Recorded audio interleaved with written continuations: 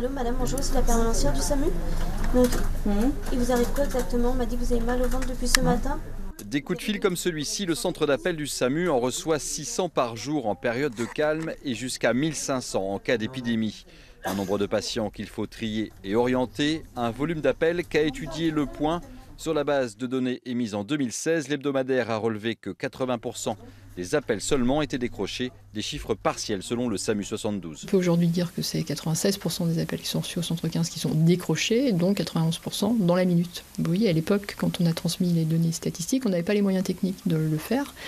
Euh, mais euh, voilà, euh, quand on est dans une logique actuelle de faire un peu partout cette volonté de SAMU bashing, on peut effectivement utiliser et détourner les chiffres et en faire un discours ensuite à charge contre les SAMU.